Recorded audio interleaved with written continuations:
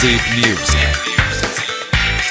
zipnews.it Le notizie nel modo più veloce.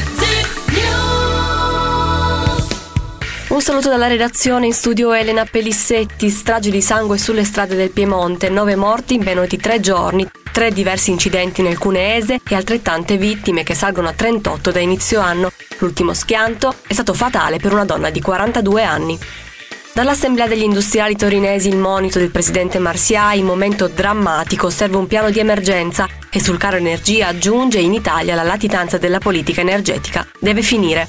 Pedopornografia, sequestrati migliaia di file, perquisizioni da Torino in tutta Italia, smantellata una rete di utenti che scambiava in rete materiale pornografico realizzato mediante sfruttamento di minori.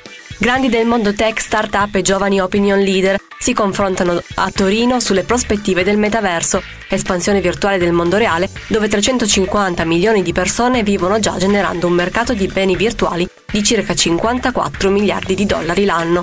L'occasione per illustrare i nuovi trend è il primo festival del metaverso in Italia in programma oggi presso il Duomo delle OGR a Torino.